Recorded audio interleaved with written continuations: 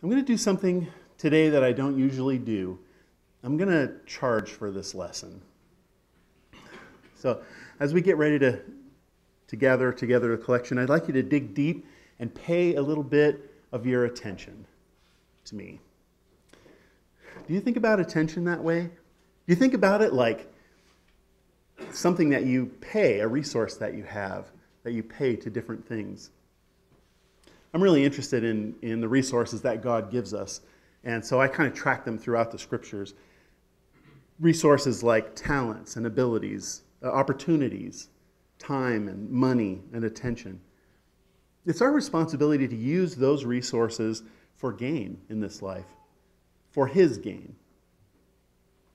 In the parable of the talents, the servants are asked to give an account of how they managed the resources that the master gave them. When you think about paying attention, think about a little coin popping out of you like a, in a video game and going to the thing that you're paying attention to. Where are your coins going? They're kind of spreading out from us all the time, going to different places. Even while you're listening to me, you could be paying attention to other things. I'm going to talk about attention. Uh, sometimes we, we put together attention and time, but I'm going to talk about attention differently this time. I'm, I'm speaking more of your mental engagement, your thought, your meditation, your consideration, the, the brain power that you apply to something. Because really, you can spend time doing something and not really be paying attention to it. And you can be paying attention to something, watching out for something, without really taking time to do it. This topic is such a pervasive topic throughout the scriptures that it's really from cover to cover because when God speaks, he wants us to pay attention. Otherwise, he wouldn't speak. The Bible uses a lot of different words to highlight that idea. Words like seek and remember and hear and take heed, to beware, to be on your guard, set your mind on, fix your eyes on consider, to mind something or watch something. And there's many more scriptures than I can cover today. But posted on the website are, is my outline along with a bunch of bonus scriptures listing a bunch of Greek words and all the passages that they're used. So if you're interested in this topic, I really kind of want to help you see the scriptures through this lens, focusing on pay attention passages where God asks us what to be thinking about, what to be putting our attention on. But there are a lot of different passages that I won't be able to cover that you can find in those notes. Our attention is valuable, and we need to spend it wisely. There are others in the world that value our attention, sometimes more than we do.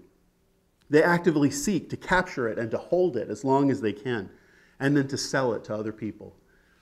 Places like Google and Facebook and YouTube and TikTok and television shows and, and streaming Netflix and things like that. They want your attention because they can sell that to advertisers to the tune of billions and billions of dollars. Your attention is very valuable to them. They employ astounding resources to catch your attention. Back in the 90s, one of the greatest chess players of all time was beaten by an AI for the first time. And then the, one of the, the number two Go player in the world was just beaten at, these are tests that we consider to be uniquely human, intelligent activities, and our best people have not been able to beat artificial intelligences that have been developed. And far more advanced artificial intelligence than that is active now trying to solve a problem. They're trained on you and on me. They're trying to find out what will keep us watching, what will keep us clicking one more time or spending a few more minutes paying attention to them. And they're going beyond your conscious mind, what you would consciously choose. They have a term for it. They call it your lizard brain.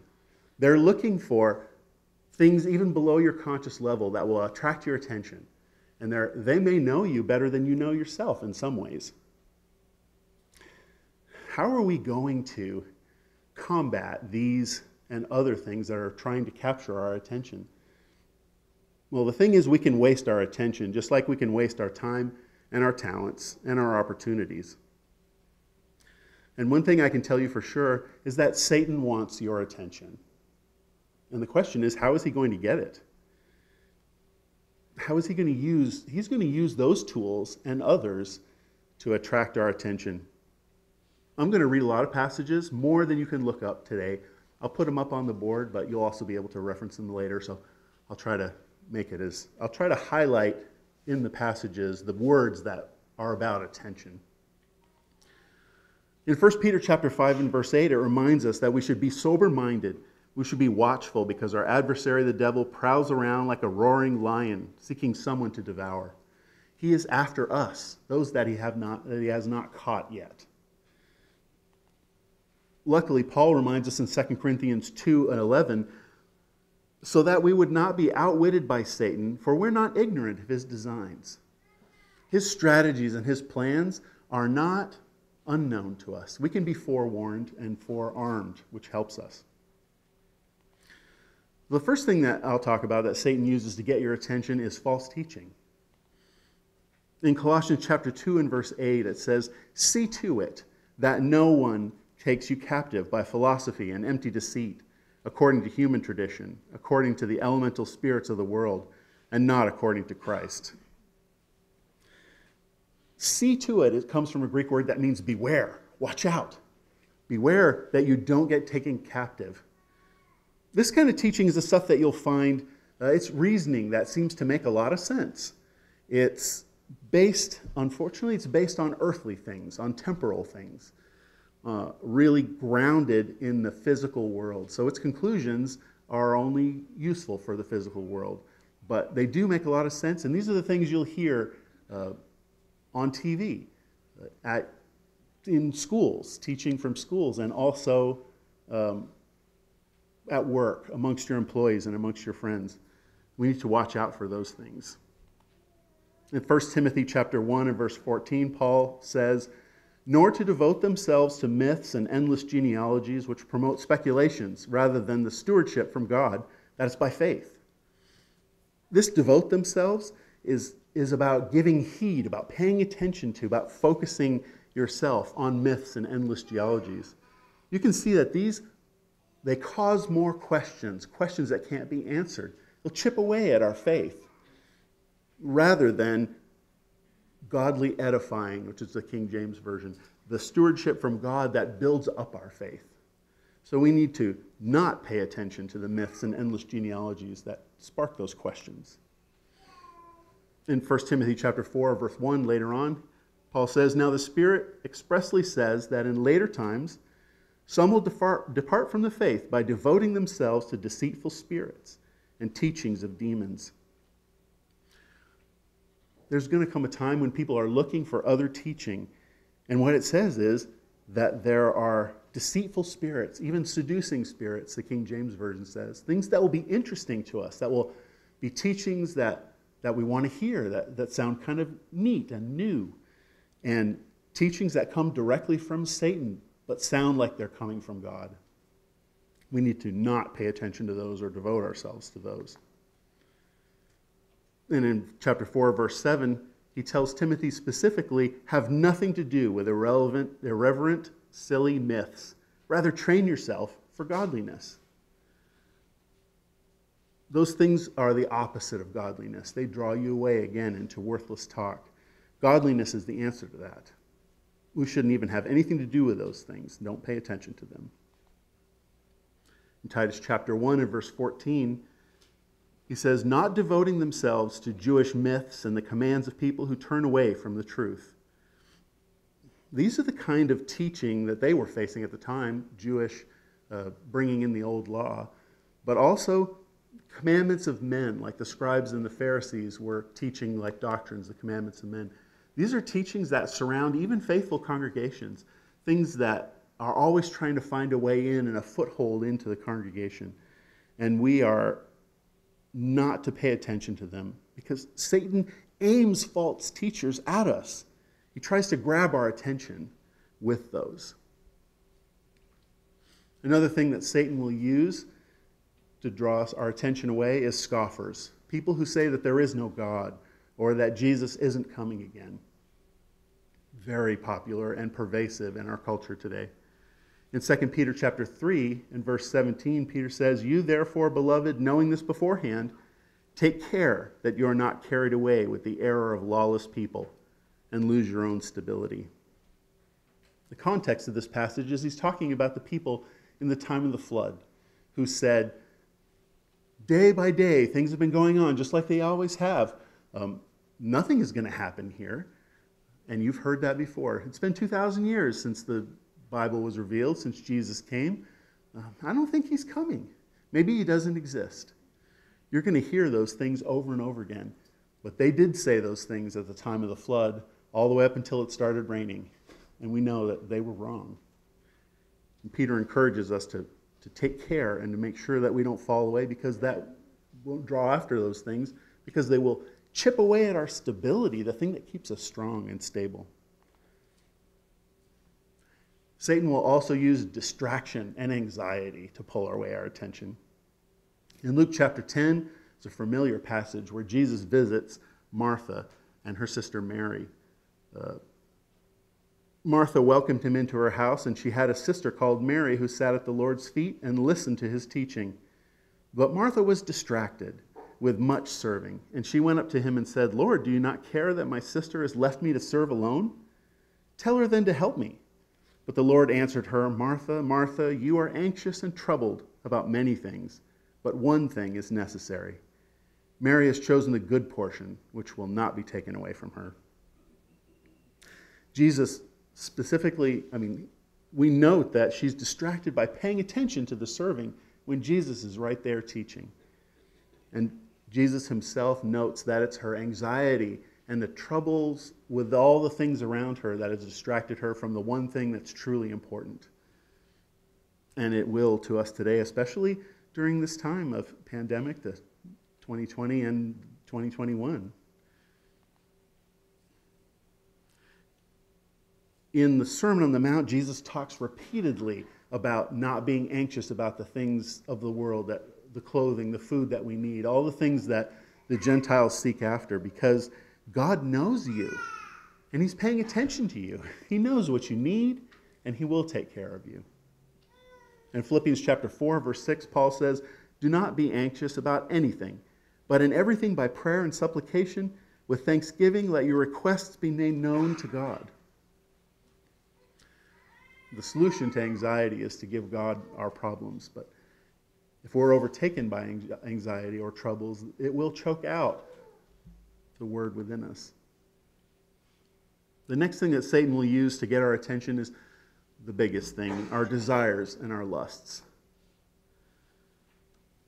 In 1 John chapter 2 and verse 5, verses 15 through 17, he says, Do not love the world or the things in the world, for if anyone loves the world, the love of the Father is not in him and I'm going to say that loving something is paying attention to it. that may be a stretch, but for all that is in the world, the desires of the flesh, the desires of the eyes, and the pride of life is not from the Father, but is from the world. And the world is passing away along with its desires. But whoever does the will of God abides forever. The number, these things are around us in every way. Uh, the number one use for the internet is still pornography and sexual things. It's full of things to tempt our eyes, the things that we want, the things that we want to get. Social media and Facebook, they're all about comparing ourselves with each other, about talking about how great our lives are, gathering likes, really pride. These things uh, threaten to take over all of our attention and all of our life if we don't fight against it. During the recent sale of TikTok, a person said, uh, TikTok can take over your life. You really need to pay attention to it. So I've put careful limits on my life, and I spend no more than eight hours a day on TikTok.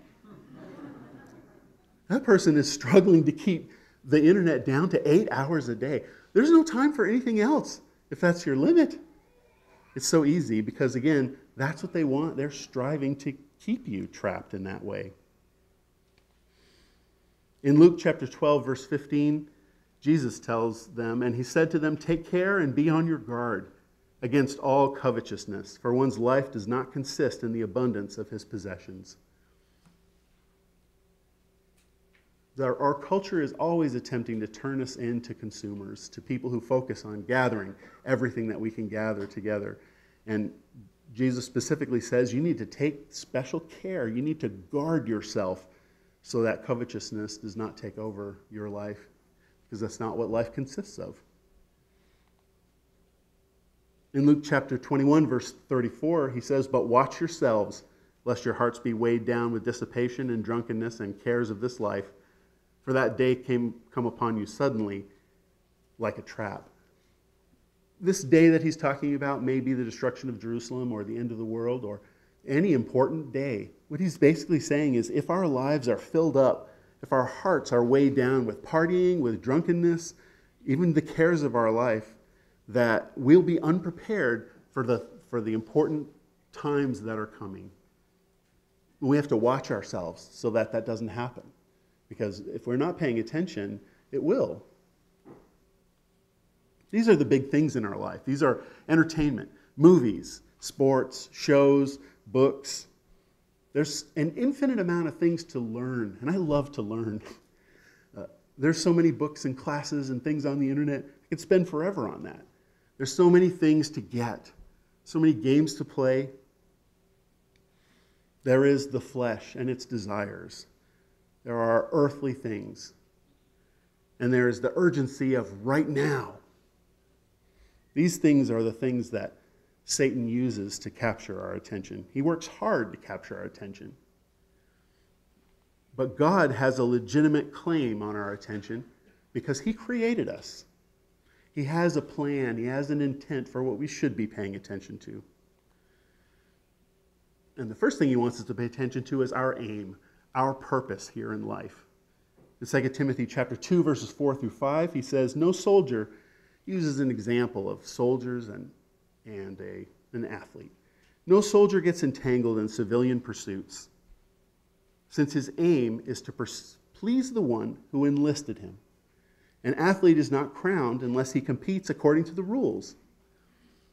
I love that word entangled because it says that our daily life, the, the regular things that we do, would entangle a soldier. They would wrap up the legs, reduce the effectiveness and movement of a person who is aiming to please the one who enlisted them.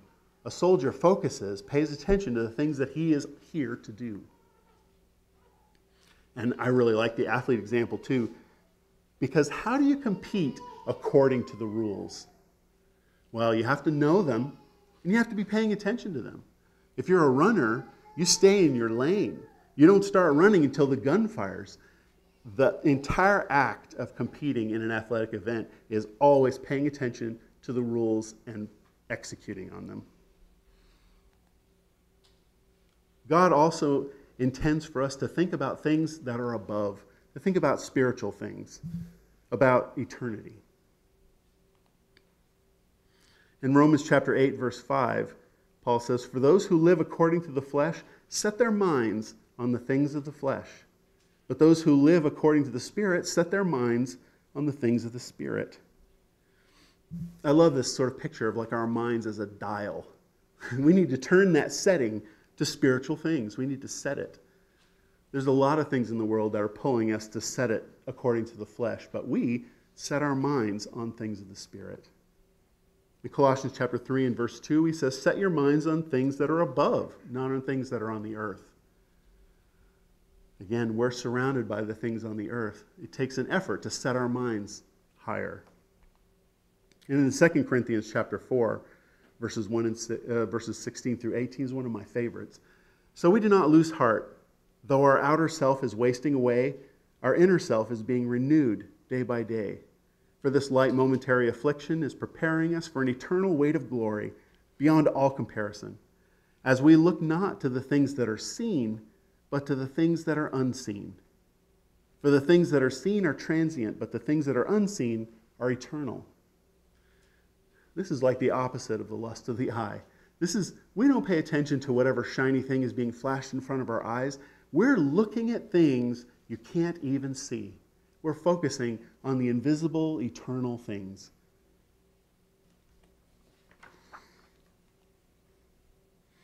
God's intent is for us to pay attention to Jesus Jesus, our Lord and our Master, the perfect example that we're aiming ourselves for, our Savior. In Philippians chapter 3, verses 12 through 15, Paul says, speaking of his own salvation, Not that I have already obtained this or am already perfect, but I press on to make it my own, because Christ Jesus has made me his own.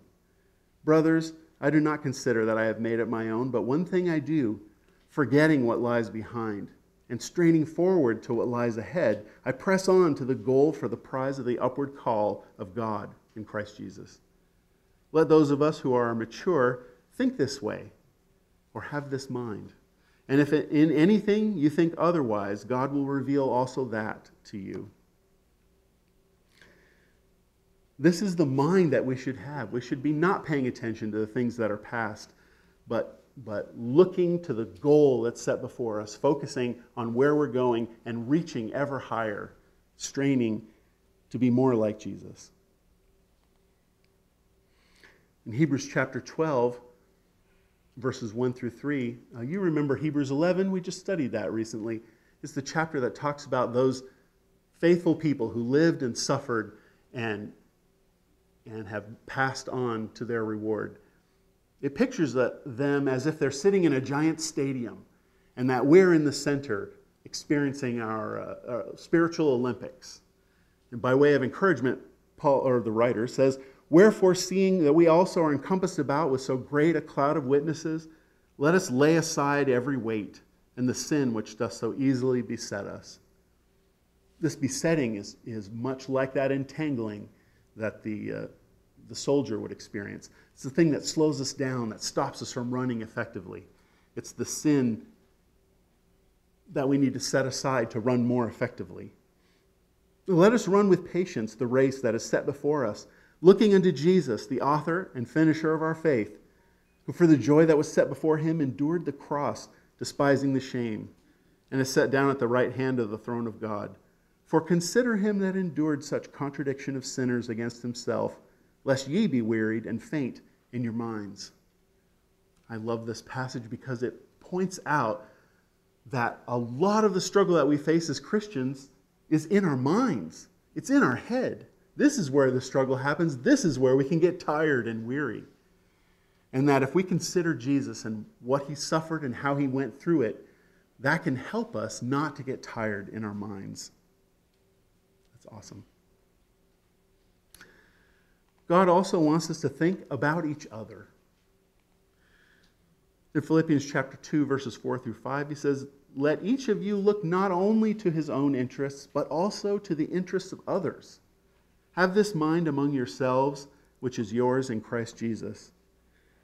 And this mind is the mind that was willing to give up equality with God, to take on the form of a servant, to live a hard life full of service, and eventually to give himself up, to sacrifice himself for our own salvation. This is the mind that we should have, what we should be paying attention to while we think about the interests of others.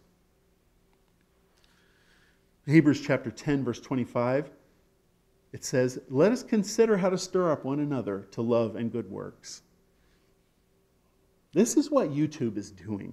YouTube is trying to spark our attention, trying to find something that will grab our attention and make us follow it. This is our chance to be like YouTube for each other.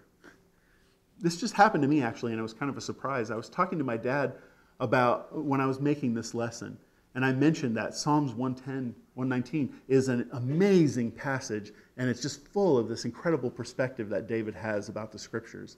And I talked to him the next day, and he said, You know, I read Psalm 119 after you mentioned it. That is an amazing passage.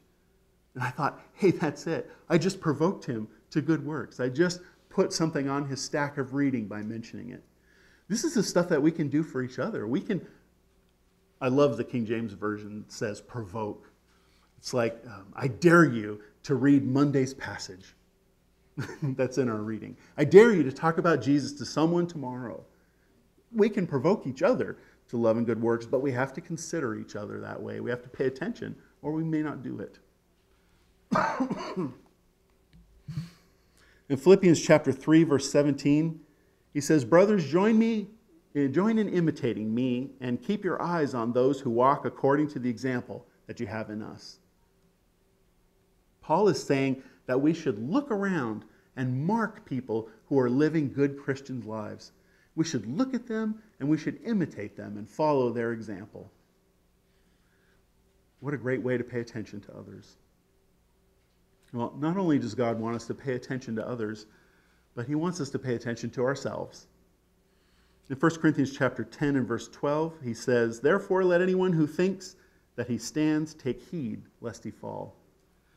We need to watch out. We need to pay attention. We can't live our lives on autopilot. This is saying that if we're not paying attention to what we're doing, then we're apt to fall. In Galatians chapter 6 verse 1, this is a passage about going and rescuing brothers who are caught up in sin. But watch what he cautions them to do. Brothers, if anyone is caught in any transgression, you who are spiritual should restore him in a spirit of gentleness. Keep watch on yourself, lest you too be tempted. While we go out to save these people and bring them back, we need to be very careful, paying attention to ourselves so that we don't get stuck, we don't get drawn away. In James chapter 1, we get that picture of looking into the law of liberty like a mirror. We should consider our face. We should pay attention to what we look like when we see our reflection in the Word of God. Because if we don't pay attention to it, we'll be a forgetful hearer. In Hebrews chapter 2, verses 1 through 3, he says, Therefore, we must pay much closer attention to that which we have heard, lest we drift away from it. This is specifically comparing the glory and the punishments of the old law with the much greater salvation and wonder of the New Testament. And he's saying we need to pay much closer attention or we may drift away. And if we do, how much more punishment will we be worthy of for neglecting so great a salvation as that which we have?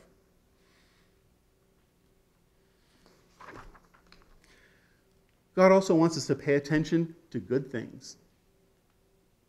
This is one of my favorite passages. I have many of them, as you can see. This passage is posted up on my wall, up above my television. Uh, Michelle Amelong actually stuck it up for us. And it's a great thing to see while you're watching whatever is going to be on the TV, because we should be looking for this. Finally, brothers, whatever is true, whatever is honorable, whatever is just, whatever is pure, whatever is lovely, whatever is commendable, if there's any excellence, if there is anything worthy of praise, think about these things. This is, this is meditate on these things, dwell on these things. And when I think about meditating, that brings me to Psalm 119. Now, some of you in the back may not be able to read this. It's a huge passage. I'm only going to be able to, to give you a brief overview, but if there's one thing you want to take out of this lesson, it's please read Psalm 119. Uh, luckily, the elders have also asked us to read it later on in this year. We're in total agreement there. It's an amazing passage. David starts the passage with the premise of God's law is awesome. I love his rules. And, you know, where am I going to seek it? How am I going to keep it in my heart? when am I going to need it in this way? And how am I going to use it in this part of my life? He approaches it from every angle, and it's so enriching and wonderful. Um, here's just a few examples. Starting in verse 9, he says, How can a young man keep his way pure? By heeding or guarding it according to your word. Paying attention to your word will purify a man's way. Verse 15, meditate. I meditate on your precepts. I fix my eyes on your ways. You see uh, David is, is arresting his thoughts and his eyes to stay on the way of God. And in verse 37, he asks God to turn my eyes away from worthless things and give me life in your ways. It's incredible, but he, he sought after God's law, his rules, before dawn, in the night, before the night watches, at midnight. He said, Seven times a day I seek after your will. Do you do anything seven times a day? You know, that's uh, breakfast, lunch, and dinner in between and on both sides. If you, if you do something that often, you're doing it all day. Okay, my phone tells me I pick up my phone 44 times a day. So that's all day. But seven times a day to focus on that. Can you imagine what it would be like to live a life of constant attention on God and His laws? It's kind of daunting to think about that. But I ask myself, can, can anybody say that that would be the wrong way to live? There'd be anything wrong with that? I don't think so. But then we ask ourselves, wouldn't it be boring? Or can't we have some fun in our spare time? Do we have to be studying the Bible all the time at every moment? Well, I'm going to read a list of things that God that David found in God's law. And I want you to, to ask yourself, is there anything that you want that's not in this list? You could be blessed. You could have hope. You can have freedom from scorn and contempt, life, comfort, delight, freedom from shame, be completely informed and wise, to have understanding, discipline, to have a larger or free heart, love, salvation, praise, singing, fear, a portion or a supply, to be companions of good people, safety, stability, hating false ways, faithfulness, endurance, sweetness, promises, help, an eternal heritage, redemption, deliverance, zeal, support, to be found and not lost, to obtain mercy, to be in awe. Do you think, is there anything missing in there for you? I can't find it. I've seen some recent studies that are really exciting to me that show that if you spend time meditating and engaging with Scripture with your full attention, your imagination, and all of your self, that your relationship with God and your spiritual and, and your ability to see the spiritual will grow more real to you. It's a skill that we can learn. It takes practice and meditation that the Scripture speaks for you may be able to hear the voice of God in Scripture better if you take time to listen. You can only do that if your attention is available and focused. In John chapter 10, Jesus says, I am the good shepherd. I lay down my life for my sheep. I know my own, and my own know me.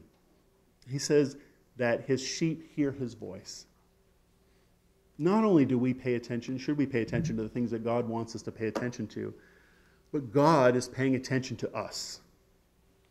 All the way throughout John chapter 10, he explains how he knows us. This is the Good Shepherd passage.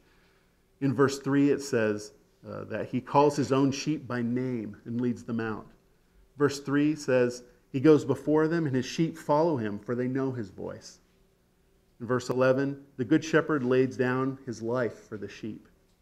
In verse 14, I know my own, and my own know me. He sees us and he hears us. 1 Peter 3, verse 12 For the eyes of the Lord are on the righteous, and his ears are open to their prayer, but the face of the Lord is against those who do evil. God's attention is an infinite resource, but he doesn't spend it on everyone. His ears are open to the righteous. He cares for us. In 1 Peter 5 7, he says, casting your anxieties on him because he cares for you. He takes care of us. Throughout Luke chapter 6, verse 7, he tells us God takes care of, is aware of the smallest things, the lilies of the field, the sparrows. He knows them and he takes care of them. He will take care of you. Not only that, he has a plan and a wonderful eternal destiny for us. We just read this in Revelation chapter 1, 21. And I heard a loud voice from the throne saying, Behold, the dwelling place of God is with man. He will dwell with them, and, he will, and they will be his people, and God himself will be with them as their God. He will wipe away every tear from their eyes, and death shall be no more. Neither shall there be mourning or crying or pain anymore, for the former things have passed away. Isn't that worth paying attention to? So, where are you spending your attention? As for me, I did a little exercise where I graphed out all my time and I stretched it out until I'm 80. If I spend the time that I'm, that I'm spending now in worship, between now and 80, if I put it all together, I will be worshiping for eight and a half months straight, 24 hours a day. That's from January to mid September. If I continue to use my cell phone the way I use it now, I'll be on my phone five years straight. That's four hours a day. I better be using some of that time, a lot of that time, to be doing what God put me here for. And if I put together all the other things, like take out sleeping and working, I have 11 and a half years of free time that I haven't committed yet. What am I going to spend that on? Well, we said Satan wants all of it. By false teaching, scoffers, distraction and anxiety, desires and lusts, he will try to capture all of our attention on sinful things and on godly purposes. But he's happy enough merely distracting us from what's truly important, like Martha. That's enough. Well, God has a use for our attention. He's asking us to pay attention to our purpose, our eternal and spiritual things, to Jesus, our Lord, to people, others, and ourselves, to His word, His rules, and His good things. Where your treasure is, there will your heart be also. You know, we'll be required to give an account for every idle word that we speak. What about the things that we dwelt on, the things that we paid attention to and thought about?